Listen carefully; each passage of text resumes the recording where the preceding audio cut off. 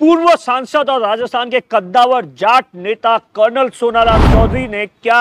BJP छोड़ दी है क्या कर्नल सोनाराम चौधरी ने राष्ट्रीय लोकतांत्रिक पार्टी ज्वाइन कर दी है दरअसल सोशल मीडिया पर सुबह से ही पंद्रह सेकंड का तथाकथित वीडियो जबरदस्त तरीके से वायरल हो रहा है जिसमें यह दावा किया जा रहा है कि कर्नल सोनाराम चौधरी ने हनुमान बेनीवाल की पार्टी को ज्वाइन कर दिया है जबकि यह पूरा का पूरा वीडियो पंद्रह सेकंड का फेक वीडियो है ये आरएलपी के ही नेता का है लेकिन किसी सोशल मीडिया यूजर से ये बता दिया कि कर्नल सोनाराम चौधरी का ये वीडियो है और उसके बाद लगातार व्हाट्सएप पर जबरदस्त तरीके से वायरल हो रहा है और उसी के बाद में कर्नल सोनाराम चौधरी की ओर से सफाई दी गई है कि आरएलपी की ज्वाइन की जो बात है वो पूरी तरीके से फेक है और ये वीडियो है पूरी तरीके से फेक वीडियो है